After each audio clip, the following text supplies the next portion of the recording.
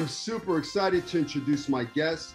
He's multi talented, inspirational, and has survived more tragedies and successes than most people experience in a lifetime. He spent 14 years in the NFL and he's got a Super Bowl ring to prove it. On top of that, he's a world class magician. He has appeared on America's Got Talent and is a regular on the Ellen DeGeneres Show. His amazing and emotional book, Life is Magic, is a must read and is being turned into a major motion picture with an Oscar winning producer. I am super excited to introduce Jon Dorenbos to the Hollywood Dreammaker podcast. Welcome, Jon. Yeah, what's going on? Oh, oh, my gosh, very bad time. Excuse me. That, that was super embarrassing. Uh, one, oh my God, it's like this flutter. Do, excuse me. okay. Whoo! I feel so much better. Hey, thank you so much. Totally rock star. Uh, happy to be here and uh, let's rock and roll. So, you know, Jon, I created my podcast to inspire dreamers, artists, you know, whether you want to be an actor or producer or whatever, you know, it's called Hollywood Dream Maker. You have a dream, you know, that you go after that dream. And, you know, if you go after it with passion and a vengeance, that you can make that dream a reality. You know, for a kid like me who grew up in a broken home, you know, who, you know, you know, had to go through a lot of tough stuff as a child, you know, to be able to come out to Hollywood with 200 bucks in my pocket and a one way ticket and make that dream a reality and becoming a working actor. You know, if I can do it, anybody can do it, you know. So if you have a dream and a passion, you know, you go after it. And, you know, I, usually, you know, I've had a lot of guests on my show that, uh, you know, I've worked with, you know, in the movie business, you know, Academy Award winning writers and actors. And, you know, we don't know each other, but I watched you perform on um, it was a Tony Robbins event, and you came out and you did you know I don't know like a 45 minute thing or whatever it was, and and I was like blown away by not only you're an amazing magician, but just your your voice and your message that you're putting out there to the world. And I was like, who is this guy? You know and, and, and then i picked up your book and I, you know i laughed i cried i was you know super inspired by your book and i was like you know i got to get jon on the podcast. And you know i reached out and you said yes so i'm honored to have you on the show man. Your your your, your yeah. story is truly of course man. I'm happy to be here and and and you said something uh, if I can, you said something that kind of that, that resonated with me already right off the bat, and that is, you wanted to do something and you went and did it. I, I think there's so many people that, and if you can do it, everybody could do it. Well, trust me, I feel the same way that if I can do it, you can do it, right? But I think here's a very, very simple difference is that there's a lot of people, consistency is hard. Showing up every single day on time, prepared, and ready to work, and having discipline and realizing that whatever it is that we want in the end is worth saying little no's to on the journey right?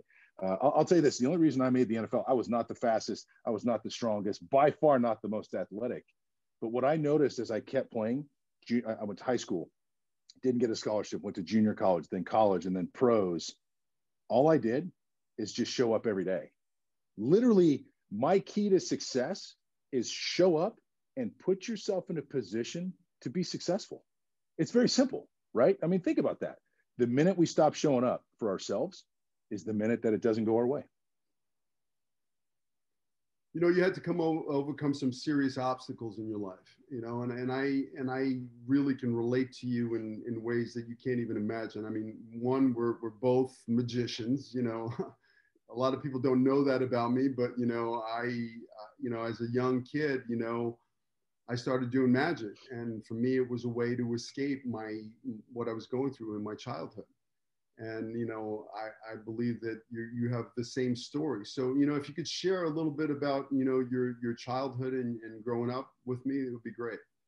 Yeah so uh, look we lived in woodinville washington and uh, it's a beautiful uh, neighborhood about 30 minutes north of seattle. Uh, my dad was the president of little league. My dad uh, coached my teams. Uh, if you asked me when I was a kid, hey, Jon, who do you want to be like? I would tell you, I want to be just like my dad.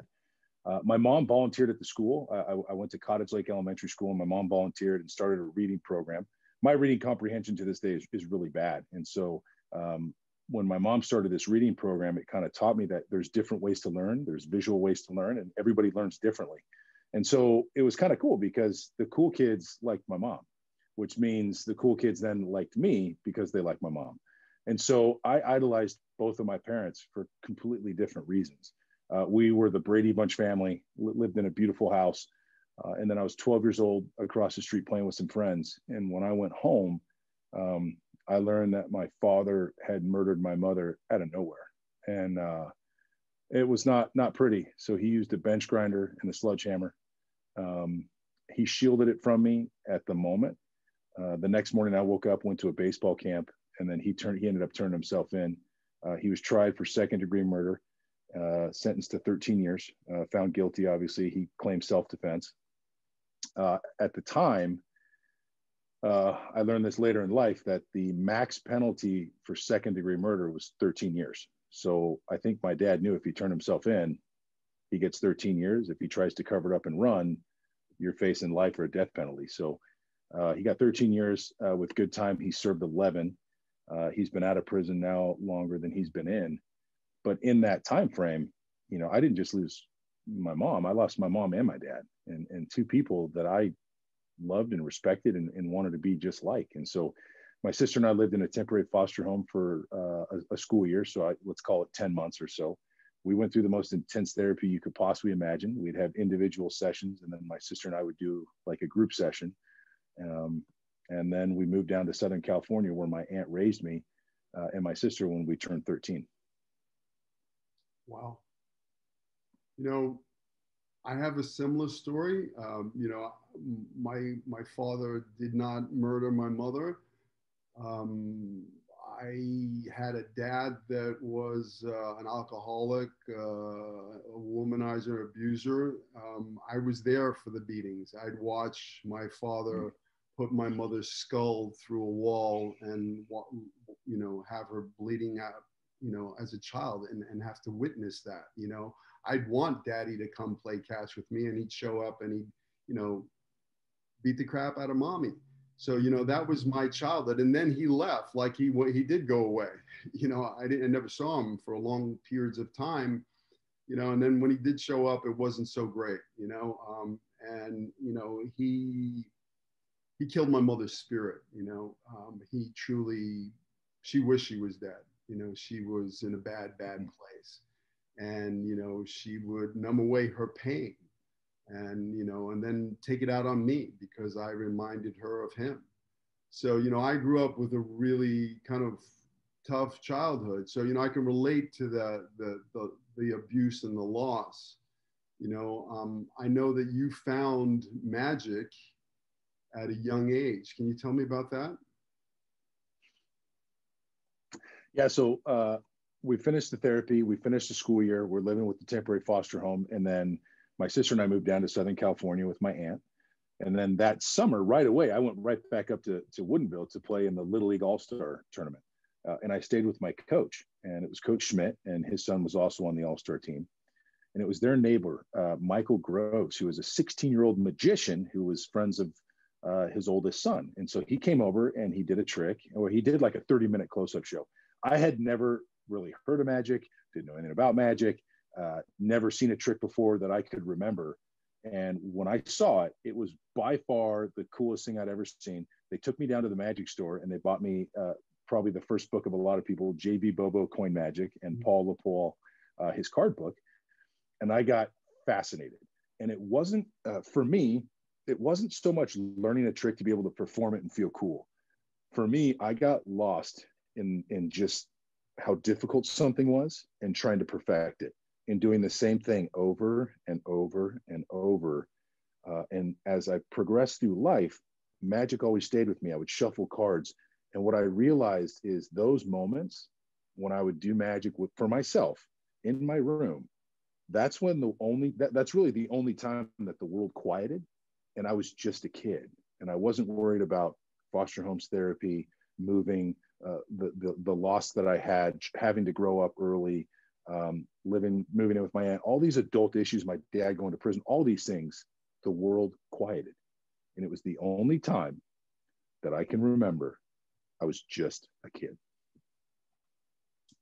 I can relate.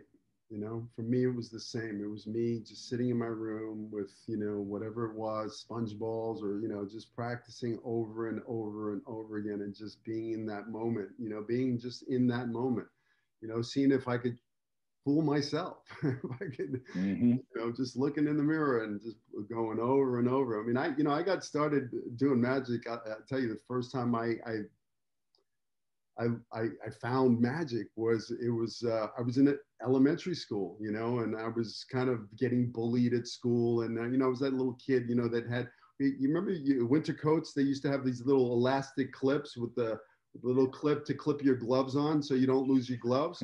Well, I lost one of my gloves, man, and I had this little piece of elastic with this little clippy thing. So I I attached a quarter to it and and I stretched it out oh. and I let it go and it vanished and I was like wow. And then i and then i and then at school i was like on a line and there was a bunch of girls and i i went look at the corner and i went like this and it disappeared and they went and i was like uh-oh there's something here. I got something. So that's when i was like i was hurt. And, and here's what i love here's what i love about what you just said because it's a framework of how i view life. And i know just from from the little bit that we've talked how you view life things happen in life and it's our job that we either say we're going to live in vision or we're going to live in circumstance. And this, whatever this instance is, however I narrate this story and whatever I tell myself about what this is, is going to dictate where I go. And the bottom line is something bad happened. You lost your glove. It's terrible. But if you can take that and say, this isn't happening to me, this is happening for me, mm. it puts our mind frame in a space that all of a sudden, wow, how about this? Losing your glove might have been the best thing that ever happened to you but in the moment it's devastating right? Yeah. But you found a positive and you actually found a better use for that elastic thing and that clip on your jacket way better than what the glove was ever for. So true. And i love that. I love what you just said you know uh, you know change your story change your life man. And i i, I got to tell you you know for me i had a story you know my fucked up childhood was my story. My abusive father, my abusive mother, blaming, I was a victim, you know, poor me, you know, angry. And, you know, I had the story of abandonment. My father abandoned me, my mother abandoned me. You know, you know, my mother was so fragile at the time, you know, because of the abuse from my father that, you know, she once told me she didn't see me till I walked you know, so when your your father abandons you and your mother abandons you as a child, you grow up with some issues about abandonment, like you're not worthy or I'm not, I don't deserve love. I don't, you know, this is, you know, you grow up with this story. And I carried that friggin' story around with me my whole life as a as a truth, you know, like this is my story. And I had all this anger and pain and and you know, I battled depression and you know, I just couldn't I was, I was in, there was a hurt little damaged little boy inside of me. And then I did this Tony Robbins thing and, you know, they were talking about the story, you know, and I, and I really started thinking about the story. So my mother used to drop me off at this, this heavy set Italian lady, Lily Castellano's house because she had to work her three jobs to try to provide for me and my two sisters, you know.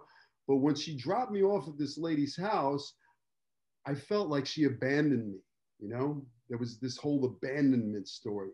But then when I started looking at that story again, and I looked at it and I, and I changed the story.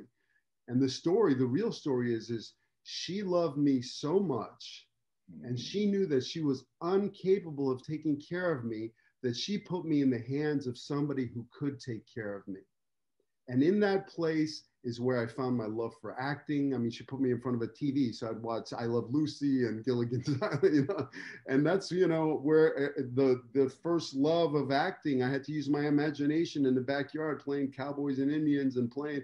So the story changed for me. It was no longer of abandonment. It was about love. So you know, change your story, change your life. You know, it's a it's a powerful thing. It's it's it's the most powerful thing you can imagine. I, I love the fact you're an actor because my whole life. So I, am a total chick flick guy. Like I'm just a girl standing in front of boy, asking him to love me. Oh, right.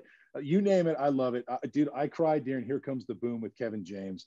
Dude, Dolphin's Tale cried. Like I I I mm-hmm. love sappy movies. Okay, I'm, I'm a big Matthew McConaughey fan. Rom com, get it.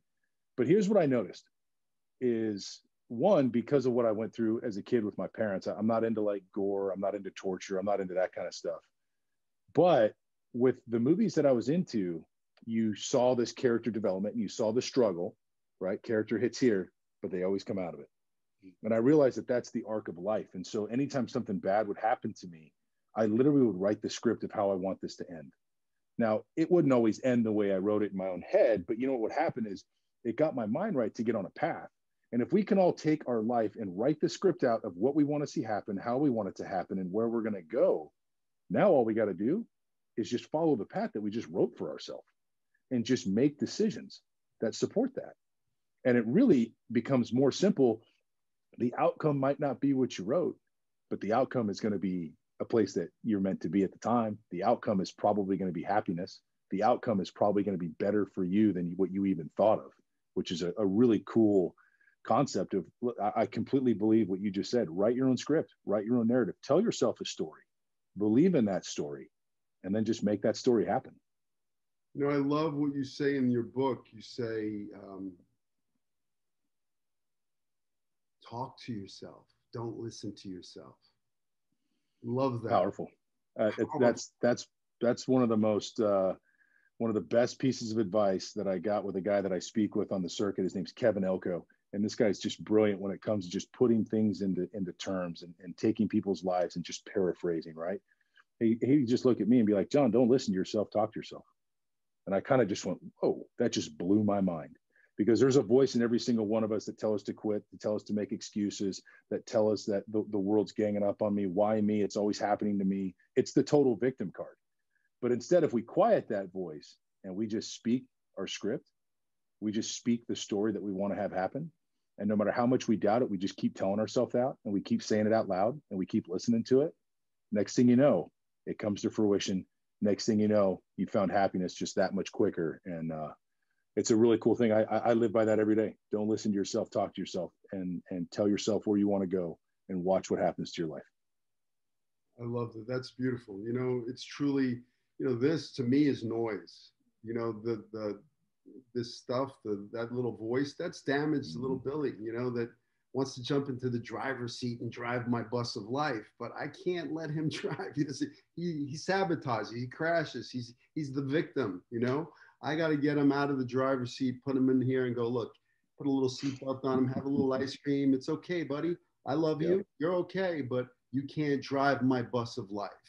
The powerful me, the confident me, the the light within me is going to drive my, you know, the God, the life. That's that's who's going to drive my bus of life. You know, and, and yeah, and and I think everybody can relate to what you just said, and and you know you refer to it as as the driver's seat you refer to it as as that and i love that and i just refer to it as live in vision not in circumstance it's just eh, every one of us can relate to struggle this is what i love the one thing that every person in the world can relate to. I don't care what race you are what language you speak how much money you have what your job is who you are none of that matters. What every one of us will forever relate to is struggle is tragedy is chaos is failure. That's something that every one of us can relate to. And I believe that the only thing that separates people is the decision they make in that moment, is the decision of how they stop listening to themselves, start talking to themselves. If they allow that to become a crutch and they allow that to be why they're going to fail, or if they write their own narrative, they write their own script, they talk to themselves and how quick they can get out of that rut and find happiness. That right there, to me, that's what separates us. And uh, um, I love what you just said because sometimes you do got to put that voice in, in a little seat put a seatbelt on it, tell it to shut the hell up, and then dictate where you're going to go. Yeah, and he, and he, always wants to jump back into the driver's seat constantly. You know, it's like a daily. You got to, I got to like put a bouncer at the gate of my mind. So when he comes in, so you know, it's like, sorry, kid, you can't come in. you know, you're not allowed in. Not allowed in. And and and what what you just said is, I guarantee you, something that every every person in this world can relate to and has that feeling every day. But it's the choice. Buckle them up and take control. You know, it's really hard, eh, you know, listen, when when shit happens to you, you know, like my childhood, your childhood, to to to be the victim, you know, to to be in that victim mindset, you know, oh, this happened to me, you know, and I love, you know, it, it didn't, you know, it didn't happen to me, it happened for me. There's there's growth that comes out of that, you know. Everything in my life, some of the toughest points in my life when it was like shit, you know, I'll give you I'll give you a, situation. You know, I, I lost my 11 year old niece to brain cancer, and and I lost my stepfather to prostate cancer, and and you know that's the year my dog ran out and got hit by a car and died, and my wife had a miscarriage, and then my wife got diagnosed with breast cancer. You know, this was like, are you fucking kidding me? I'm, I mean, I was literally life was pounding me down. You know, I mean, I was getting beat beat up. You know? And at the time it felt like shit you know? It really felt like i was you know in hell you know? But i i took that shit and i used it as fertilizer to plant new seeds. And you know some beautiful things came out of it. I mean my school the manhattan actor studio came out of the shit of cancer you know uh, you know, it was it was the worst time, and I got this calling. You know, you have to open up a school in acting. I'm like, what? I said I, I torn my rotator cuff. I had a torn labrum. I was I was out of work. I was in a sling for you know almost a year. I you know all this stuff was going on to me. I was emotionally a wreck, you know, and I got this calling that I needed to open up the school, and I was like, what are you talking about? but I just I followed that dream and it came to fruition. And now I have a beautiful school for the past seven years where I get to be the guide, man. I, I've been there, done that. I got the t shirt to prove it. I've made the dream a reality. Check. Now I just guide people. If you have a dream, whatever it may be, if I can help you and, and you can learn from my mistakes and I can get you where you want to go further, faster, because I've already been there, that's that's more rewarding to me than me doing an acting job. You know, I've been there. So I, I feel like I'm living my dream now, my destiny, because of the shit of yeah. cancer. And, you know, my wife is cancer free. Thank God. You know, we went through yeah. the shit, but we came out stronger. You learn to love more. You, you, you don't take shit for granted. You don't take life for granted. You know, you, you appreciate the small stuff. You know, it's, it's, it's just, it, everything changes when you, I mean, you know, listen, you've had some some major stuff go on in your life. You know, I mean, you had some health scares. I mean, can you can, can we talk about that a little bit? Yeah. So um, uh, I did America's Got Talent, and so I, at the time, uh, I, I, well, let's back up. So uh, I go to college, I then play in the pros. I played two years in Buffalo, a year and a half with the Tennessee Titans, and I was going into my 12th season with the Eagles. Uh, right before that, I, I do America's Got Talent. I'm a finalist. And so in my head, I'm rolling. Like I'm life is clicking. I'm going into my 14th year in the league, or 15th. It was going to be my 15th season in the NFL, which is crazy. I'm a finalist on AGT. We're booking all these theaters. Like magic and football are just progressing equally, right? I'm, I'm playing Monday Night Football and I'm performing on the world's greatest TV show, selling venues out, and it's just boom, the perfect complement. Um, long story short, uh, the Eagles then trade me to the New Orleans Saints. And at the time, I was shocked because I had just broken a record. I had the most consecutive games ever played as a Philadelphia Eagle, which means I played in 162 straight games, which is wow. tough to do. And I thought I was going to retire an Eagle. i am going to be an Eagle forever. So they trade me to the New Orleans Saints. And what happens there is I, I get traded right before a game. So I play the game. The next day, uh, I go in and do my physical because the doctors were in town. Uh, and they, I, I did a little, you know, breathe on the stethoscope, take a deep breath all right, cool. Yeah, I'm out. And I go get ready for practice. And they come back and they say, hey, look, uh, there's some abnormalities in, in the heart rate and a murmur. I don't know if you know what a murmur is, but we're going to send you down to the hospital and get tests done. It's just precautionary. Yeah, no problem. So I go in, I go to the hospital, get my tests, come back, and now I'm going to get ready for practice because that's what we do. My 15th season, I'm 37 years old. I love going to New Orleans because, for one, it was an all black uniform, which is trimming for a 37 year old pudgy white guy. We're indoors, right? So I'm out of the cold weather of the Northeast, playing with a guy named Drew Brees, which was awesome. And then all of a sudden, I get a call I pick up my phone as I'm going out to practice, and they're like, "Hey, Jon, surgeon, cardiologist from from the hospital here. We got your test results. It's not what we expected. Uh, I don't know how to tell you this, but you're never playing football ever again, and you're going to be in emergency open heart surgery probably in the next 48 to 72 hours." And at that moment, you're just like, "I'm sorry, huh? Right? Huh?" They're like, "Sit down. Uh, try not to cough, try not to laugh, try not to walk fast. Don't pick up anything over five pounds. No caffeine, no soda, no coffee, no nothing." the trainers and doctors are on their way and we'll explain. So, um, wow, talk about a moment. Um, I, I, slid my helmet in the locker and I remember Drew Brees walked by me and I saw his name in like the reflection of, of the helmet. And I went down, I, I took my cleats off and I remember taking my fingernail and kind of scraping the dirt off the bottom of my cleat because I remember that was the last time I was ever going to feel that dirt. And so I turn around, I see Brees leave. And then I remember, which is what we said earlier, the story I tell myself is going to make all the difference here. Now, I was at the time I got the news, I was bitter, I was angry. I was telling myself, this isn't how I'm going out. I've worked way too hard for this. This isn't me. I was playing the total victim card. So, what do you do? You take a step back. And I literally told myself the words we already said Jon, don't listen to yourself, talk to yourself. This isn't happening to you, it's happening for you. Why? And then I remembered a story of a reporter named Joe Santoliquito. It was 2006. Uh, I had played with the Philadelphia. The Eagles had just signed me. I was going out to a game, and the reporter stopped me and he said, "Hey, Dorenbos." So I turned around. Hey, uh, can I ask you a question? Yeah, what do you got? I read an article that your mom's best friend sang "Wind Beneath My Wings" at her funeral, and I just went, "Whoa!" First of all, uh, not a question you're expecting to hear from a sports reporter before a game, and honestly, it was a little bit more due diligence than some reporters do. Right? it's like wow, that's an intelligent question. And I looked at him and I said, yeah, yeah, yeah, she did. She uh, sat behind pipe and drape because it was too hard to sing at her funeral. And uh, great song, thanks. So I walk away, and he goes, no, no, no, you don't understand. And I go, no, no, no, Bette Midler, 80s, 90s, beaches, great song, weddings, funerals. I get it. See her on Broadway, phenomenal, but I got to go. He goes, no, no, no, man. I, I, I know your story. I know where you've been. I know your struggles. Your mom's best friend sang Wind Beneath My Wings at her funeral. And you're an Eagle now. Mm. So if you struggle, just open your wing, uh, open your wings, and just let the wind take you. I'm pulling for you, kid. The whole city's pulling for you. Make us proud. And uh, that that that affected me. Like that that just was like that's amazing. So here I am. Uh, it's now 2017. I'm traded to the Saints. I'm sitting in a locker. I just found out I'm having open heart surgery. My career's over. And all of a sudden, don't listen to yourself, talk to yourself. Ain't happening to me. It's happening for me. Write your script write your narrative, tell yourself the story. And I literally went from being a victim to bitterness to pure joy, happiness. And instead of crying tears of just confusion, it was tears of happiness. And the story I told myself I had the wind beneath my wings for a long time.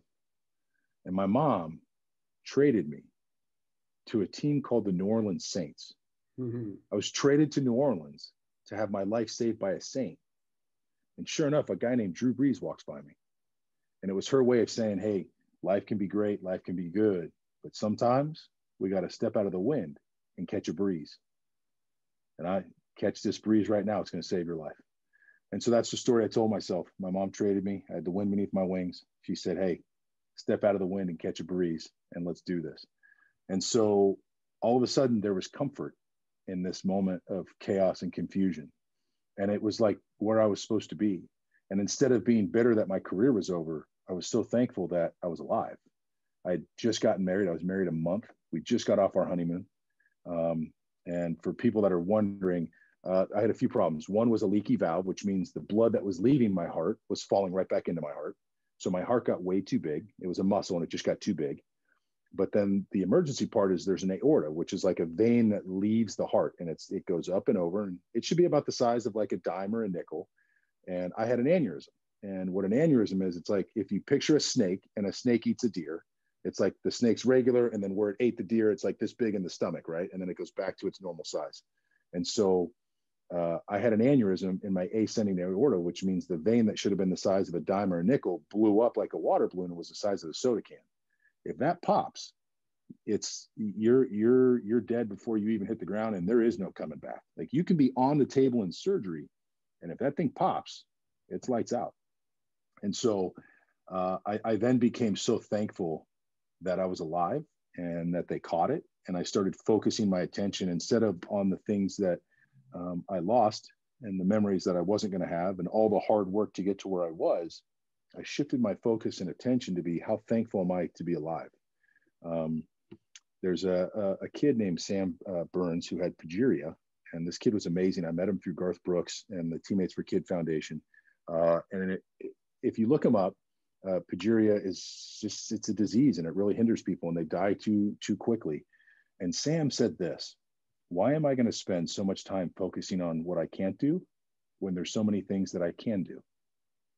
And I just I remember thinking that in that moment that though my identity might have been football from this point on or from from you know that point uh, before uh, there might be a few things that i can no longer do that i love to do but there's still so many things that i can do and i'm going to focus more on that and just have peace with the change in my life and uh, that was a cool thing that's beautiful man you got me a little teary-eyed you know it's uh, it's powerful It's so powerful, man. You know, change your story, change your life. You know, but before you and I talked briefly uh, about how pennies have affected your life. Um, when my dad was, when we were going, when my dad went to the trial, and it was his trial, um, I sat with my aunt on the steps outside the courthouse, and there was a penny, and my aunt said, "Oh my gosh, there's a penny. These are pennies from heaven." And every time I see a penny, it's from your mom. And I was like, oh my gosh, no way. So ever since then, when I see pennies, I pick it up and, and I always just look at it. And if I ever have pennies, I throw them because I know that it's a sign for somebody else. And there's somebody up above saying, throw that penny because a relative is going to see it and think of me. Um, and so I would find pennies throughout, throughout my journey. Uh, when I was in the hospital and I found out the news when I was in the locker, I then had to go back. Long story short, I had to go back to the hospital for way more testing I got all those results, and now I'm I'm walking back to the driver who was in the parking lot, and I was alone in the hospital in New Orleans after I found out my career's over and I'm going to have emergency open heart surgery. I hadn't called my wife yet because I'm still processing all this information. And it was the most clean floor in this hospital. And as I go up, and I have a picture, I'll, I'll find it. Uh, as I go up to the elevator, I'm wearing flip flops, and I look down, and the only thing on this hospital floor was one penny right by my flip flop. And I just remember picking it up and going, man, at the moment that I feel alone, man, I'm never alone if I believe. And so um, pennies have, have been a big part of my life too, man. You know, so here, here's here's the story I want to share with you. So, uh, pennies have been a big part of my life. You know, I mean, as a magician, that was you know that was my opening bit. You know, I'd walk up and say, "Hey, look at this! You find a penny, you pick it up all day long, you'll have good luck." And then I'd stretch it out and I manipulate it and make it disappear or whatever. So I've always pennies is my thing. You know, and people know me for my the penny trick. You know, when I when I go places, people go, "Hey, you got the you show them the penny then." You know, so so you know, pennies are you know a huge thing for me, and I do the same thing. You know, when I see pennies I, you know, if they're heads down, I flip them over and, and leave them heads up so the next person can find that penny heads up, you know, mm-hmm. find a penny, pick it up all day long. You have good luck. So here I am, uh, I don't know, maybe about a month ago. And, you know, I, have been, I've had hit a couple of little speed bumps in life, you know, uh, recently. And, you know, I was kind of uh, in a, in a little bit of that victim mentality, you know, poor me, you know, boo hoo. And, uh, you know, I went for a bike ride and, you know, I, I was riding for like three miles, you know, and I had Life is Magic in my ear. And I'm riding my bike and, you know, I pull over my bike for a second, like literally, I rode for three miles. I pull over my bike for a second. As soon as I pull over my bike, in my ear, you're telling that hospital story and you're talking about the penny and I look down and there's a penny right at the tip of my left toe where my foot, my one foot came off the bike. And this is it right here, man. and you know, it was a sign. It was a sign. It was like I said, I got to get Jon on the show. And here you are. You know, what's, what's really cool is that uh, that's that penny. Um, I usually take the penny that I find. I have my moment and then I throw it and I, I, I put it back in the world. The only penny I've ever kept is the one I saw on the hospital floor, uh, and it's upstairs, and it's actually right next to a Super Bowl ring uh, that I got uh, from the Eagles, and I look at that thing every day, yeah. and it's the one penny I kept, um, and it's cool, and and and this brings up a much bigger decision of there might be people listening to this, and there are people in the world that they roll their eyes and they think this is the dumbest, most childish thing in the world. And you know what? To each their own. That's fine. But I remember as a kid, and I remember how much I wanted to meet Santa Claus. I remember how much believing in him and how fun it is. And I've never lost that. I still want to meet Santa Claus, and I'm going to one day. But to make a decision that we can either believe in things or we cannot. We can either choose to make things signs that motivates us, or we can just say it's a coincidence and just be on our way. And what I love about that is making the decision to believe in something, making a decision to see something and putting a positive spin on it to motivate yourself to do better in this world, to be better, to achieve more emotionally, spiritually, materialistically, whatever it is you want, has nothing to do with religious preference at all. It's a similarity that we can all have, just like failing, just like struggling, just like that moment that we talked about earlier. But to believe in something is something that we can all do. And it doesn't matter who your God is, it doesn't matter where you're from. To make that decision for me was a powerful thing. And it was like when I would sit down and shuffle cards. When those moments happen for me, I'm just a kid. All of a sudden, whatever I'm going through at the moment, it just quiets, it just fades away, even as an adult. And then all of a sudden, you're stuck. You're stuck in that little area of your mind and your heart just being a little kid. And I have a daughter now, she's two. And uh, it has been by far the most amazing thing in the world. But my wife and I, just the other day, you know, we were watching her play, and it's like the only time that we've really seen just pure joy and innocence is, is in a kid because they don't know the evil side of the world. And so when I see a penny or I see a sign that I choose to believe in, I go back to that within myself. And some way, somehow, when the mind does that, subconsciously it figures out the problems that are occurring in my life. And the next thing you know, you kind of snap out of it. And I feel like I know where my direction is. I know what I have to do to, to, to solve this problem. And it all happens with just choosing to believe in it. Love that. You know, and, and, and I choose to believe. That's why I have, I saved this penny and I have it and I take it with me. I like to keep it in my pocket, you know, something, you know, just, it's a reminder, man. Yeah. You know, I, I listen, for me, magic, I love people that don't believe in magic, you know, like, oh, it's a true, you know, and when I'm done with them, I make them believers, you know, when I, I love it. I, you know, when I, when I stick that beer bottle through the bar or, you know, you know, levitate something or, you know, makes, you know, I, I make them a believer. You know, for me, magic is not about like tricking. It's the ability to make people smile. Any place, anywhere, anytime, does not matter. I know I have the ability to make somebody smile and make them become a believer and become a little kid for that for that moment. You know, a homeless guy goes, "Hey man, buddy, you got any change?" And I pull a big penny out of his ear and I manipulate and I disappear and and by the time I'm done, you got a smile on his face, ear to ear, man. And that is the that is the for me truly that's the power of magic. It's the ability to make people smile anywhere, anytime, any place. I love going into a place and taking over the place, you know, a restaurant. And then by the time I'm done, I got the whole restaurant's, you know, everybody's together. It's in communities. There's a show going on, you know. And, well, what, what, and it's cool you said that because what I fell in love with magic. I, so when I learned magic, I didn't, I didn't do a trick for years, like literally a couple years, because it wasn't about the trick. And what I found out that magic for me was about the moment, the experience, the energy, and it was a tool to create relationship and connection. And when I discovered that, man, the magic just took off because now it wasn't focused on the trick. The trick's not the end all be all. The end all be all is creating that moment that's cool. It's going into the restaurant and taking over. And when we leave, we know that we changed those people's lives and gave them something more than just a trick. You know, it's it's funny. I did this. Uh, I did this thing. There's 10,000 people. It was at the uh, I think it was called the American Bank Center at the time in Corpus Christi. It was a big arena, and it was for the Texas FFA. And I'm backstage, and a, a, lot of my business is keynote speaking, and I tie magic into it. And one of the crew guys there that was backstage, we were just chatting away, and he goes, "Ah, oh, I bet you you can't make a coin and just take a coin and make it disappear and and you know get a standing ovation from that magic boy." You know, and he he wasn't a dick; he was just being funny, right? But like, hey, I bet you can't make that disappear and get the crowd to care. And so all of a sudden, I went, "Huh, okay."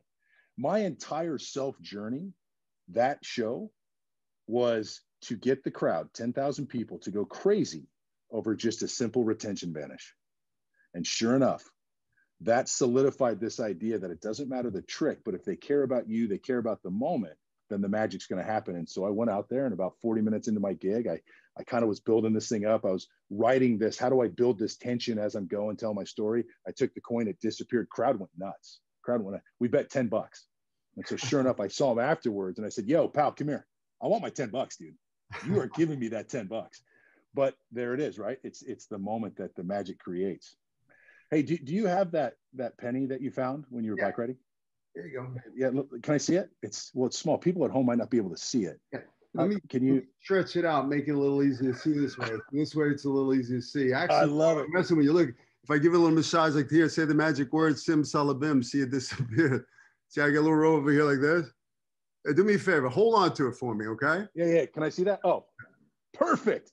Oh my gosh. This is killer right here. I'll tell you what, there it is. Love it. hey, pennies changed the world, man. So I, I love that. And again, make the decision to believe in something bigger than what we are at the moment. And hey, don't listen to yourself, talk to yourself, and everything goes from there. I love that. You know what I love about your magic? It's how you incorporate your voice in there you know your your message you know i mean you know you see you do these corporate things and you can you know you can put anything in there but i love your story how you you know your your uh, america's got talent. Oh i mean what was it? Don't hate don't uh don't hate don't, hate. don't blame forgive right? Forgive yeah. You know it's it's really cool and it's it's ironic that you're an actor that's been there done that and now you're an actor that's teaching um, I learned this lesson. Who, as a kid, didn't grow up a David Copperfield fan? That's that, that's a magician, right? There's come on, uh, David Blaine, all these guys, right? And I realized that there already is a David Copperfield. The world doesn't need another one. So there's so many magicians trying to imitate him and dance like him and whatever. Blaine, same thing. There's already a David Blaine. Why are people going to care about me as a performer? Then I read a quote from George Carlin, who was quoting somebody else. I forgot who he was quoting, but he basically said, They're not going to remember the joke. They're not going to remember the trick or the story. But what they're going to remember is the way you made them feel. And the reason they come back and see you again is because of how you made them feel, not because of the joke or the trick. And I was like, wow. So it was like this self discovery of what makes me me. And if it's not about the trick and it's about the connection, then why don't I just be a little bit vulnerable? Because I went and saw, are you ready? This is going to blow your mind my inspirations for my show, which I'm super proud of, it's my life story with Magic tied in, is Carrot Top, Mike Tyson, Mike Tyson, and Garth Brooks. Oh wow! So Garth Brooks, if you don't know him or you've never seen him live, is one of the greatest performers of all time. Uh, his his uh, his what do you call it? his encore is talking to fans that hold up signs. Then they give that fan a microphone and he has a conversation with the fans, and you can request any song, and he plays it, and it's so intimate and it's so cool. And and when you watch Garth Brooks perform, whether you like country music or not, doesn't matter. He is up there having fun, and you feel like you're the only person in the room, and he is literally playing for you. That's an art. That's a and, and you know what? You can't fake that. Uh, Carrot Top, Carrot Top's ability to use sound bites and quick hitters and just to keep his show moving. If you haven't seen Carrot Top in Vegas, it's probably the best comedy show I've ever seen, and I've seen a lot. But it's so well produced but his ability just to have quick things push your show. And then I went and saw Mike Tyson. He has a one man show. Love it. His, his vulnerability. He's the most feared man in the world. But him also being honest of where he came from, what influenced him, him like, look, I beat that old lady up. I, I feel bad for it. Here's what happened. Here's how I got in trouble. Here's how I learned. Here's, you leave his show. And at every time that he struggled, you related because something in all of our lives can relate and you're like, if this guy's the heavyweight world champion of the world, well, if he can do it, I can do it. You're inspired by vulnerability. And, and all of a sudden, he humanized himself for like the first time. Yeah. He wasn't just this monster. There was actually a soul and a person behind that, that felt, that cared, that had grief, that had pain, right? We all related to that. And fear. Oh, yeah. And so those were three influences in my show. Um, and, and what you just said about tying in themes is I realized that that's who I am, that I can connect with people and relate to people and inspire people by almost just reciting the script that I wrote for myself throughout my life and teaching these little tidbits that some of the greatest coaches in the world were able to teach me at, at low moments in my life, whether it was a therapist or a football coach or a friend or, or a relative. And the connection is now not going to be a gratuitous trick. Instead, I'm going to use magic. I want to be a rock star. Can't sing, can't dance, can't play an instrument. So check that off the box. But what I learned is that the cards now were my guitar. And now I can either do a ballad or I can do a jam. And the words in my trick, that's going to be the lyric. And so sure enough, that's that kind of is what made me me. And I did America's Got Talent and I tried to make things inspirational and I tried to talk to my 12 year old self through magic because magic for you and I, it created vulnerability and it put us in like this child. It just kept us in this really cool state of mind. Well, if you can relate to people using magic as your tool, well, guess what it does? It creates nostalgia. It creates this, it breaks down this wall, and all of a sudden, everybody are just like kids. And if we can get the world to quiet around them and have them have the same experience you and I had that helped heal us, maybe all of a sudden they come out of that and they've processed something just a little bit better in their own mind that helped them further their own life. And so the tricks that I do, I, I, I try and kind of keep that in mind and uh, not make up stories. They're all true stories in my show. And uh, I want to talk to my 12, 13, 14 year old self. I love that. If you were to go back, right, if you could talk to your 12 year old self, what advice, you know, now being, you know, I, I don't know what your age is, but if you could go back and talk to the younger you and give yourself advice, what would that be? Oh, man. Always play catch with yourself. And what do I mean by that? Uh, I got out of football. I got a lot of media for my heart surgery, America's Got Talent, all this stuff. And then I did interviews, and people asked if I missed playing. Do you do you miss the NFL? Such a drastic life change. You know, now are you going to perform? Are you going to try and do a comeback in the NFL? What are you going to do? What do you miss? And I really sat back, and it hit me. Uh, I was 12 years old, and the community in Woodinville and in Seattle would donate Seattle Mariners tickets to me or whoever. And I would go to the Seattle Mariners. I was a huge Seattle Mariners fan. Ken Griffey Jr., Jay Buhner, Edgar Martinez. They were like my Omar oh, Vizquel, my favorite players. I wanted to be them. And so when I was living in the foster family, anytime somebody had tickets, they would call and take me. And I remember being in the nosebleeds. My sixth grade teacher took me, whose name was Mr. Butz. Believe it or not, I had a sixth grade teacher named Mr. Butz, B U T Z. He would take his wedding ring off and just flick it. He would just play with the wedding ring. Just, it's funny what you remember, right?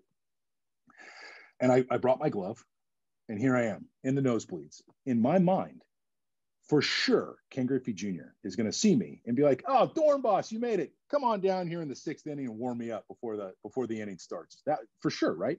And then it didn't happen. I'm like, "Gosh, how did he not see me? He must have forgot. Clearly, he forgot." So all of a sudden, I become a pro, and then uh, I go to Philadelphia, and that guy tells me the wind the wind's beneath my wings, and this is actually a story that always chokes me up. And then I go out a couple games later and I see a kid. And there he is, just wide eyed, looking around, looking at his favorite players. And I said, you know what? It's time for me to be Griffey. And I get that kid and I bring him on down. And I play catch with that kid. And so before games would start, that's what I did. I brought kids. Sometimes they'd be on the field, sometimes they'd be in the stands.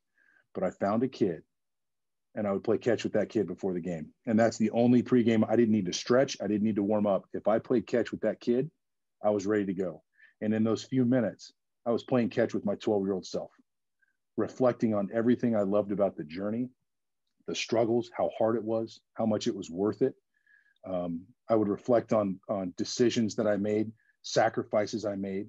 And really, what I would think about is all success is about just stringing a series of good decisions together, time after time after time, and doing it over time. And it's a hard thing to do. And when I would play catch with myself, um, I was such an appreciation for where I was that I think that that is what allowed me to play so long is because I didn't worry about the stresses. I didn't worry about the pressures. I looked forward to playing catch with a kid. And that's what motivated me to constantly make it another day in the NFL because I didn't want to lose the opportunity to play catch with that fan that didn't get to live it.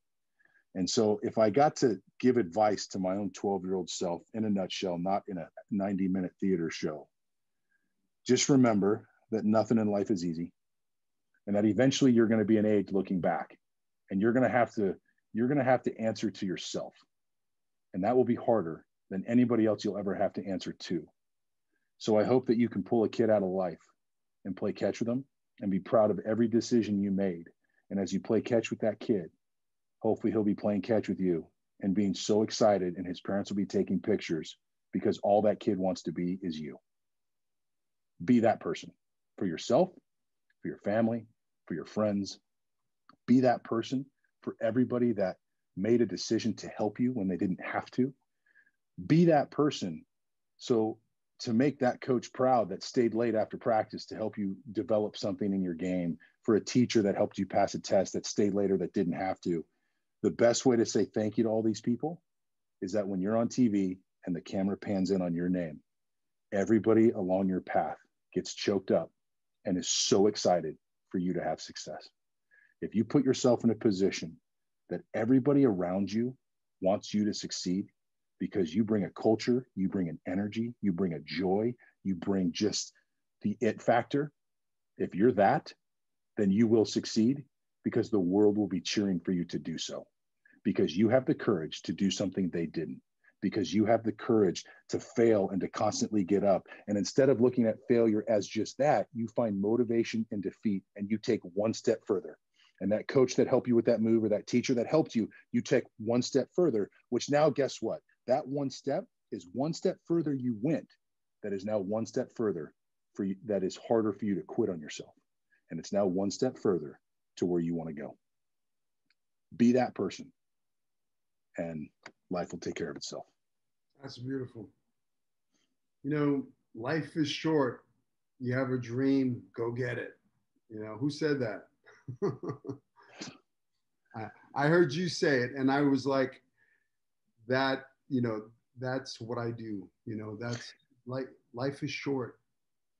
You, you know, you know, you said something earlier, uh, um, and I don't know if it was on this or if it was just before we were talking, but it was basically like you wanted to get up and go be an actor and a lot of people laughed at you and said it's never going to happen now how do i categorize those people because they're not bad people right but i always tell myself whether it's true or not this is just what i tell myself everybody that said i couldn't do something everybody that said you're wasting your time are the people that are talking to themselves are the people that are looking at you regretting that they aren't doing what you're doing and because they didn't take the shot and maybe they're not happy they can't imagine you making it. So instead, they have to bring you back to where they are. And that right there motivates me even more to go take a chance to do something that nobody's ever done before or that people don't think I can. Because Jim Carrey, I, I just heard a, a Jim Carrey interview and he was talking about his dad. And I thought this was really cool. He said basically, my dad was a great jazz musician. He was unbelievable. And he didn't make a lot of money, but he was he was grinding, he was going, he was making it, right? And then all of a sudden, my mom had kids. And then my dad had to leave his passion of playing jazz to go get a real job. It was the safe job, and he got into accounting. And then all of a sudden, as we got a little bit older, my dad got fired from his safe job, and he was absolutely devastated.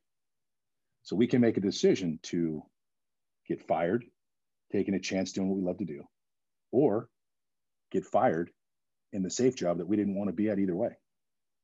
So go do what you love to do uh, in the Tony Robbins thing that you saw, it was a, a I believe it was the wealth, uh, it was like a wealth, um, yeah, it was wealth mastery. Wealth mastery. And it was funny because when they asked me to do it, they, they said, Hey, will you just talk about wealth and what it means to you? And the first thing I thought of is that, is that wealth is happiness. Money is freedom. Find your happiness. You'll get your freedom. Think about that. Wealth is happiness, not money not money. I know some very wealthy people that are miserable, and I know some real poor people that are the happiest people I ever met. Mm-hmm. Wealth is happiness. Money just allows you to do things. Money's freedom. Get your happiness. I don't care what you do. If you're a toothpick artist and you love to make toothpick art, I promise you, you'll find a way to make money making toothpick art.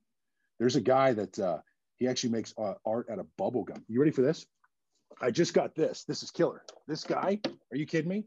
He's like, yeah, I, I, I love making art out of candy wrappers. What? This he did this of me. And are you kidding me? These are all candy wrappers. Wow. These are like the chocolate dinner mints. These are uh, like uh, the brown lollipops. There's Lollipop. Hershey Kisses. That is amazing. This is all candy wrappers. So if, wow. if somebody went to him and he said, "Hey, I'm going to be an artist. I'm going to make a living. Uh, I'm going to make uh, art out of candy wrappers," most people would be like, "You're an you're an idiot. Good luck." But look what this guy can do. So um, that's just a little. There you go. Find your passion you know really Fine. go after it you know and, and and yeah listen money does not make you happy you know uh, you know I, I i listen i've i've been blessed i've been a i've been a working actor for 35 years i've been you know i've i've had you know I, i've had the stuff the material stuff and you know the success and and i got to that place where i had all that stuff and i was like is this it is this it you know because i you know what motivated me for a long time was proving people wrong. All those people that said, "Yeah, right, you'll never do it." Well, you know that that put a fire under my ass to go. Okay, you don't believe in me? We'll see. Because my whole life, everybody, everybody that I told my dream to shit on it. I mean, I remember going my my drama teacher in high school. You know, uh, you know, I was a bit of a juvenile delinquent, and I got grabbed by the truant officers. They dragged me into the deans, and then they brought me to my guidance counselor and they, my guidance counselor, what do, you, what do you want to do with your life? And I said, I want to be an actor. So they said, okay, well, you know, the, the, go down to the lunchroom, uh, Mr. Carucci, they're doing a, a, play, they're doing a Grease. So I went down there and I got the lead role as Danny Zuko and, you know, it was sold out, standing room only. You know, my friends, you know, they, pull up in a stolen car and go jump in. I go, no, I got to go to rehearsals. and they'd be like, yeah, you fag, what are you going to do? I go, no, I'm going to rehearsals. So, you know, long story short, at the end of the play, I went over to Mr. Carucci and I said, Mr. Carucci, I want to be an actor. What do I do? And his advice to me was, forget about it, kid. I was like, what? Wow. So when I had my own TV series and my limo picked me up and I was coming to the premiere of my movie in the same theater that I used to sneak into and dream about becoming a movie, I had my limo.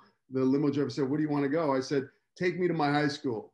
So I had the limo pull up to my high school and I just sat there and I, I said, nah, I'm not getting out for a while. I just left the limo out there, waited, mm. you know, till people found out that, you know, I, there was a limo outside. And then when I got out of the car, there was a mob scene, you know, there was girls screaming, you know, because I play like the Fonz type character, you know, so the girls like I screaming so now the police show up, and now I have police escorts walking me down the hallway down into the, you know, uh, cafeteria with knock on the door. And he opens up the door, and I go, "Remember me?" I go, I, I asked you, I, I said, you know, I want to be an actor. What's your advice? And you told me, forget about it, kid. I said, so I got to go now to my movie premiere, and you can watch me every Saturday night on Fox at eight o'clock. yep. I walked out.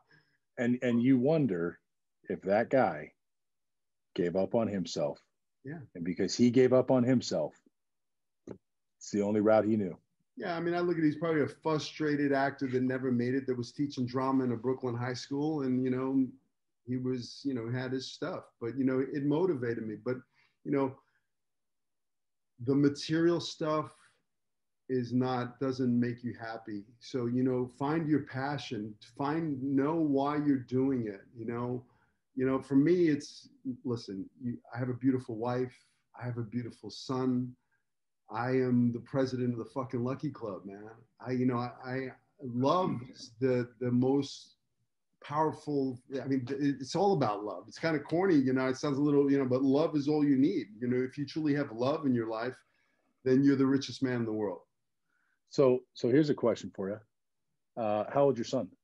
He's 14 he's going to be 14 two weeks. How has what you went through affected your role as that person in your kid's life? Major man. I am, look, I, I was the kid who played catch with himself because I didn't have a dad to throw mm-hmm. the ball. I'd throw my own pop flies and, you know, catch it myself. You know, that was me. Um, I didn't have that. So, you know, and I, and I grew up in an abusive home. So, you know, that made me the most loving father. I am his football coach. I'm his soccer coach. You know, I'm there for him all the time. I constantly tell him every day how much I love him. And I, you know, it made me uh, probably the greatest dad in the world because I, I learned what not to be. I don't want to be that, you know, and I, and it made me a, a great husband. You know i mean i truly take pride in the fact that i'm a pretty awesome husband and father and you know teacher. I love that. And and what i love about what you just said is is the idea of because I, i've said this too that my dad gave me a perfect roadmap of what not to do and it's either our choice to either become where we come from and make excuses or just be better yeah. to simply just be better every day uh, i remember um, as the trial was going on, our therapist wanted my sister and I to view the autopsy photos, and everybody thought he was crazy, crazy, right? And so, uh, sure enough, during the trial, it was on TV up in that area, and the autopsy photos were arranged in a way that the cameras couldn't see it and nobody could see it but the jurors. And so my therapist got upset. So he went and got a court order, and my sister and I were the first minors to have a, a court ordered private viewing of an autopsy photo. We go to the district attorney's office. Dude, I remember this like it was yesterday. We go in her office. She puts the folder on the desk. And she just subtly looks at our therapist and says, I, I just don't understand why you're doing this to these kids. She leaves. Therapist stands up and says, Hey, everybody thinks I'm crazy that I want you guys to see. see he's talking to my sister and I, that I want you two to see the autopsy photos of your mom. But the truth is, I don't really care. But why should it be anybody else's decision but yours? It's your life. So I'm going to leave. And if you want to look, look. And if you don't, don't. And I'll never ask. Uh, but if you decide to look, there might be a day you want to see your dad. Maybe he's in prison, maybe he's not. Maybe you're 20, 30, 40, 50, 60. Who knows? If you look at these pictures, if you ever have curiosity about your dad and you want to sit and have lunch with him, it'll be for reasons other than wanting to know what happened. Because this folder and these pictures, that's what happened. And you'll know firsthand. So he left. So what did my sister and I do? We we looked and we closed the folder and we slid it. And now here it is. It's the moment I was in the locker in New Orleans and I rewrote my story. Um, my wife gets pregnant. I, I, have open heart surgery, and now uh, I'm about a year out of open heart. I'm now retired from the NFL, reevaluating my life.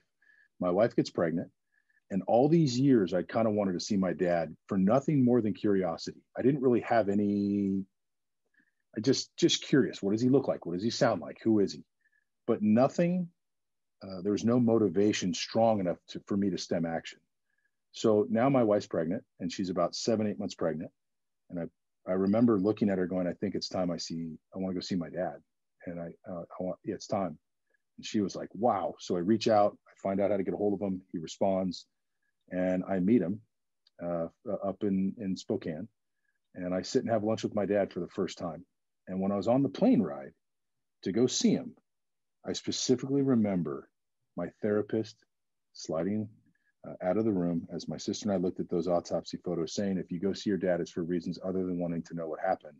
And in that moment, I didn't I didn't really care about what happened. I realized that the reason I want to go see my dad is I want to relive everything the pain, the hurt, the sorrow, the frustration, the betrayal. Um, and I wanted to look at him and, and think about all the things that we should have done together, that we could have done together, all the times that uh, it would have been cool for my my dad to be in the stands and the crowd cheering me on and my biggest fan, and everything that we missed out on. And I wanted to look and find every motivation possible for me to be just like you, for me to be better than where I came from, for me to be a better dad, a better husband, uh, a better father, a better everything. And sure enough, uh, when I went and saw my dad, it was for reasons other than wanting to know what happened. And we sat for five and a half hours. And I stood up and said, I forgive you. I forgive you for being lost. I forgive you for making a mistake, both of which I have made many. And uh, yeah, That's... and I left. And to finally have that moment come full circle. Um, just so everybody, uh, because this is probably, I, I wrote a book, you said Life is Magic earlier. And out of this entire book, right, this took a long time to write, there's actually one little phrase that is probably what I'm most proud of. And it says, For my wife, Annalise, who turned my heart right side up, and for Amaya, who will always be able to have lunch with her dad. I never got to have lunch with my dad. He was in prison. And when my friends would ask me to, hey, Jon, you want to go meet my dad and I for lunch? Yeah, yeah, yeah. And I'd always try and meet them there because I wanted to walk into a restaurant and see a father and son sitting together because I didn't have that. And so for me to write that and for me to say, hey, and, and ironically, when, when my daughter was born, her name's Amaya Love Dorenbos. Uh, when she came out, the literally the first thing I, I kind of turned and I held her. And the first thing I told my daughter is that I, I promise you're always going to be able to have lunch with your daddy. And that's a sign of it's a symbol, it's it's a it's an expression that I will do everything I can to always be there to help you. And, and when there's times that I need tough love, I'm going to try. When there's times that I just need to shut up and let you learn, you know, make a mistake on your own and, and learn it for yourself, I'm going to try. But no matter what, I'll always be there. You can always come home. You can always sit with me. I'll always listen. Uh, and I will always be as patient as I possibly can. Your mom and I both. Um, but from what you just said, a lot of people struggle with that. A lot of people use it as a crutch and an excuse to fail so that the world can say, oh, but if you only heard of where he came from and you'd understand, because that's easy. But what's funny is the short term easy to make an excuse. If you think about it, the short term easy decision to make our past an excuse of why we're going to fail ends up being a life of difficultness, a life of just grinding and depression and sorrow, when instead, short term, right? Do the hard thing, process it, grieve it. When I was 13 years old, I was on the steps of the foster family. I remember the kid across the street. He had one of those big, uh, the big bubble thing. You go in the, the pool of soap and you go like this, and it blew a huge bubble. And I remember going, oh my gosh, if I could jump in that bubble and float away, I'm just going to go to a world that just none of these problems exist. My life is perfect. It's going to be amazing. And I watched that bubble just start floating. It got higher, higher, higher, and then it popped. For whatever reason, when I was 13 years old, that was my aha moment. And I remember going, oh my gosh, if I had jumped in that bubble and floated away, thinking I was going to go to this world that was just perfect, the only thing that would have happened is I would have fallen twice as far and hit twice as hard. Wow. so the answer is not running. The answer is never running. The answer is do the difficult work and grieve it and process it. Come to terms with your reality. Be okay with change. Talk to yourself. Don't listen to yourself. Write your narrative. Tell yourself this isn't happening to me. This is happening for me. Doesn't mean you agree with it. Doesn't mean this is what you want to have happen. It doesn't mean this is what you wished for, but something positive is going to come out of this. Come to terms with your reality and then write your script forward and change change your future right? That right there.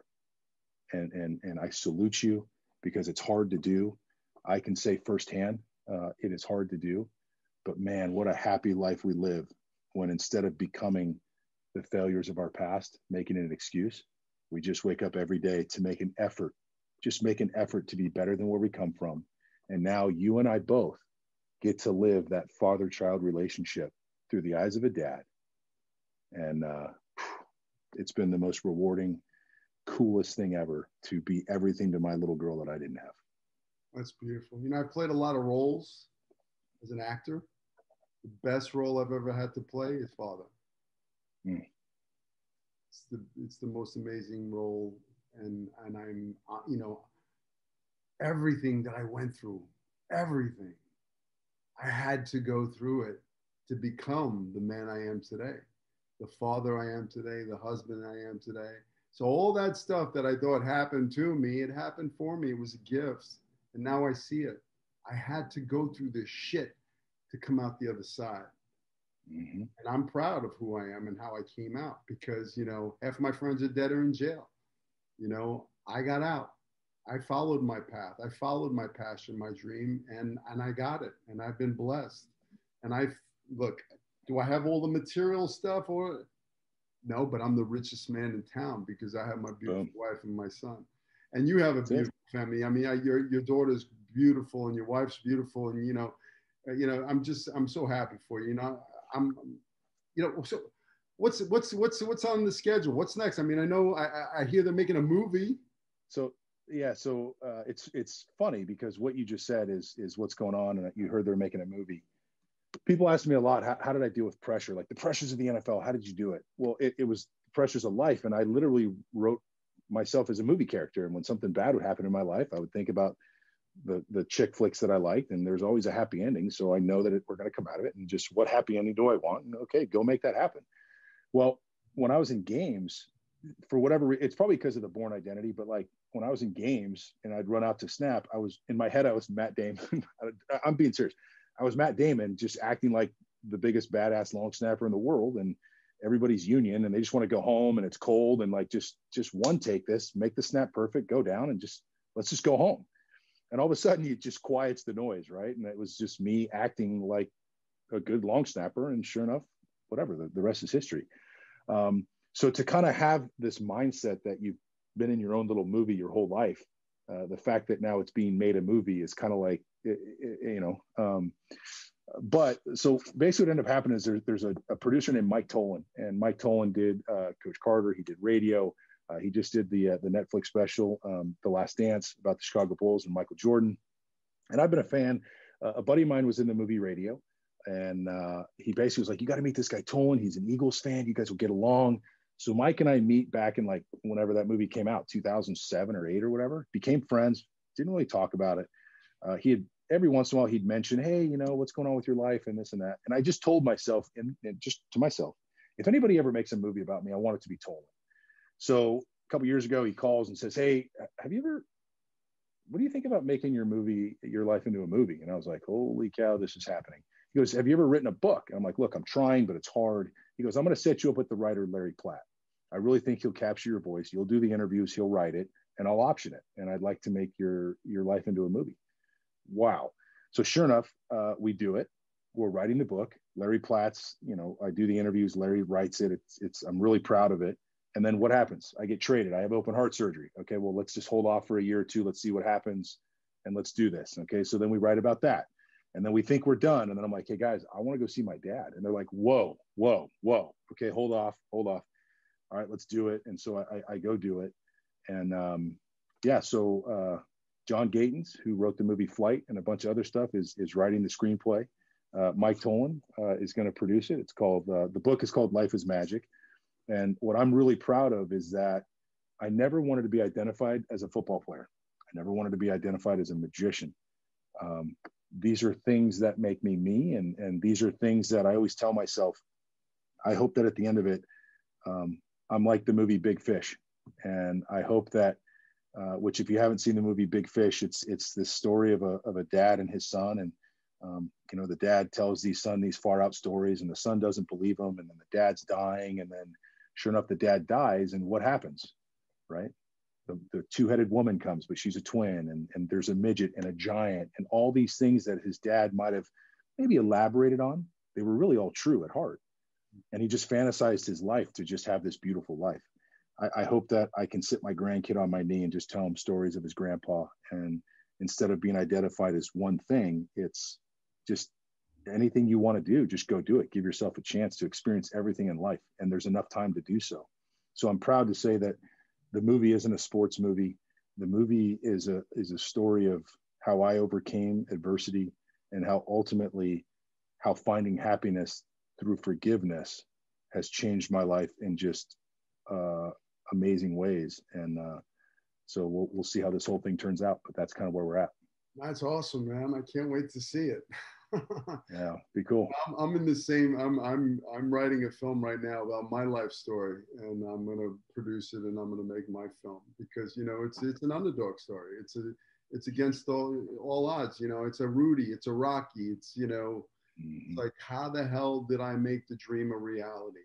You know, I mean that's why this podcast is here. You know, because I'm I'm you know I'm blessed because during COVID, I created, I had a little more time in my hands and I decided I'm, I'm going to make this podcast and it's global. And now I get to share my story with the world. And I get to bring awesome guests like you to share your gold, you know, and bring it to them. You know, that's, and I, and I feel that my story needs to be told, you know, because it's truly about, you know, going after your dreams and knowing that your past does not equal your future and that you can achieve anything if you really go after it with a vengeance and you and you put your heart and soul into it and never give up on your dream and you go after it 150% and you're relentless in your pursuit that you can make that shit a reality. Because if i can do it a guy like you can do it that came from where you came from anybody can do it so you hey. know all of those stories follow your dreams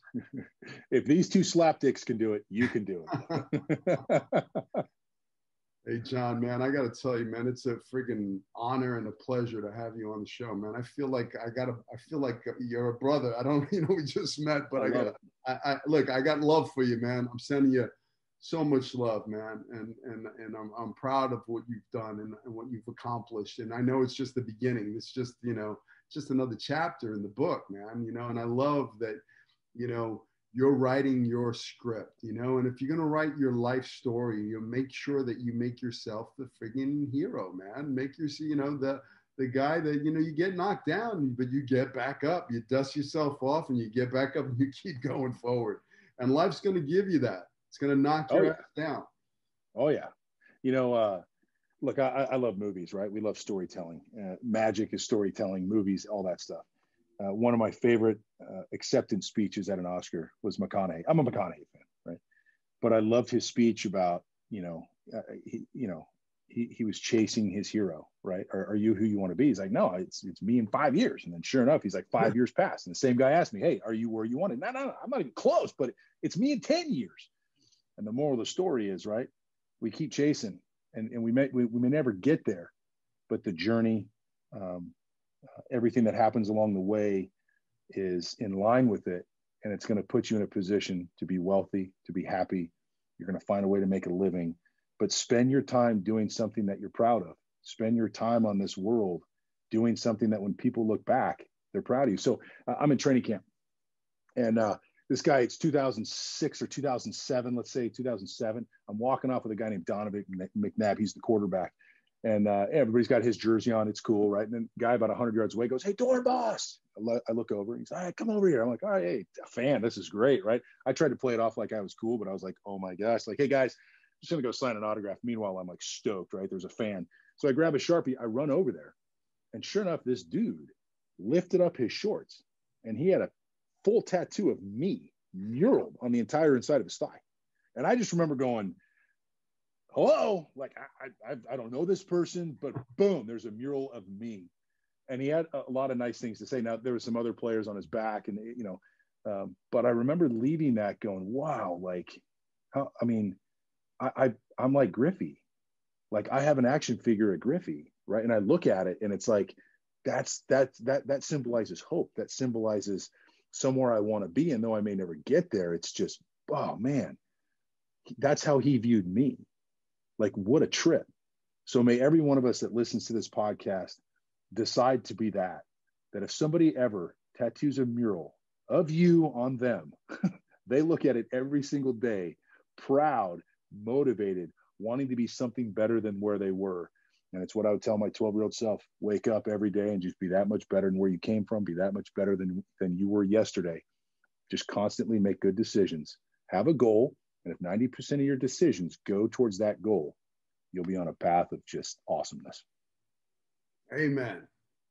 Uh, you know, I got to ask, how about a little magic trick for me? I'm the, the, the podcast okay. listeners. Sorry, guys. Check, check out the YouTube channel to see the trick. All right, I'm gonna, I'm gonna, I'm gonna, I'm just gonna hold this here. Okay. Uh, obviously, magician, you're you're you're familiar with cards. Awesome. Um, I want you just to, how about this? Okay. You're probably familiar with what's called magician's choice, right? It's a way to narrow down a force, meaning let's just say I need you to pick a, a black card. I can say, hey, uh, you know, red or black. And if you say red, I'll be like, we'll get rid of the reds. We're going to use the blacks. And if you say black, oh, we'll get rid of, okay. So here's what we're going to do. Uh, I want you to pick red or black, whatever you decide, whatever you say is what we're going to use. Does that make sense? If you tell me red, we're going to use the hearts or diamonds. Okay. So whatever you say is what we're going to use. I want you to think of a suit or a color, either one. It's going to be red or black. Whatever you say we're using, red or black, what do you want to use?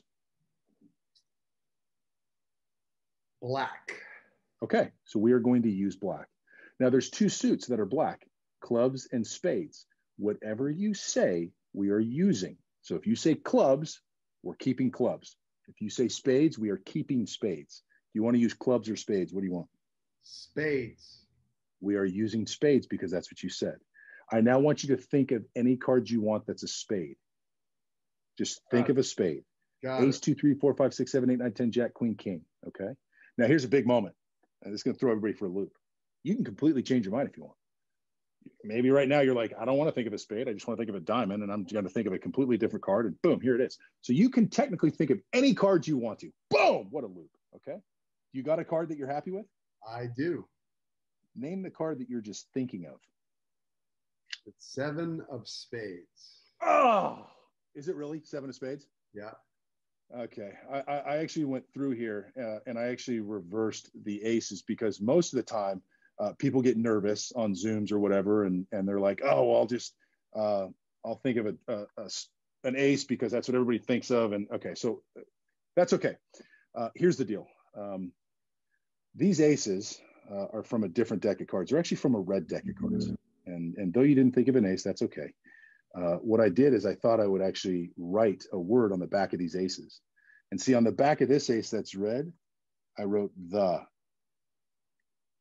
seven of spades, wow. just like that. The seven of spades, boom, written on there just like that. There you go. awesome, man. I got to tell you, you know, being a magician, watching a magician, I love your magic. It's Well, really thanks. You, you- you know, I was super stoked because there's a part in my live show where uh, I borrow a one dollar bill and uh, it's signed and all that. And the the trick that I saw as a kid was David Copperfield. Um, and well, here it is. Uh, so here's a dollar, and uh, we're gonna do this. Uh, and the trick that Copperfield did on TV was with the pencil, and he took a pencil. Uh, I think I'm in camera there. Yeah. And he would take a pencil and he basically would stick it right through the center. But now, look, I, I was a kid, so I didn't have hundred dollar bill. Well, it's a little off, but that's okay. I didn't have hundred dollar bills, right? So I would practice it with ones. So even today in my show, I, I don't use a hundred dollar bill. I use a one uh, for a few reasons. One, it's a hundred. Two, I'm not David Copperfield, and to be honest with you, this trick is 50-50. It either works or it doesn't, and I can always pay back. Uh, I can always pay people back a, a, a buck. But check this out, right? It sounds like it rips. You can hear it, see it, but there's no hole, no tear, no nothing. And now that's really cool. Now, uh, I don't know if you heard it with my earbuds on. Um, regardless, it sounds like it tears. Um, but this is really cool here. Um, so now we can take it um, and just set this in there. And actually, a pencil, uh, the eraser and the metal weighs the same amount as the actual pencil. So the balancing point on a pencil is kind of a cool thing, I, I think. But now you won't even hear it. You're just going to see it. Watch, go right through the center, just like that. And it goes through the center. Now, when I was doing this, I wanted to end it, uh, but I didn't want to end with with a one because I always started with it. So I thought it was a really cool line to say, look, I, I know that when I was a kid, I would do this trick uh, with a uh, with a one dollar bill, but I never ended it. But I never liked all the the current routines of how people would change a one into a hundred. I just didn't like the technique. So uh, with Danny Garcia, we came up with this. Look at this change. This is so killer, and it looks like you change a one into a hundred just like that and it's just such a cool change uh, and then we give away a hundred so um, i love taking old ideas right and working with people to come up with better cooler ways than like because i'm sure you're familiar where you take the thing and you're like yeah, yeah, yeah. fold it up like this and then it's like so small and then you got to like carefully open it up you know what i mean That was uh, but I, I, I love that change awesome. All those, you know, it's that ten thousand hours, man. You know, it's putting 10,000 those hours, baby. You know, you Yep. the gift that you had to be able to snap that ball. You know, all that practice, all the training, all of that. You know, paid off in game day when that clock was running out, and you had to make sure that ball was exactly where it had to be.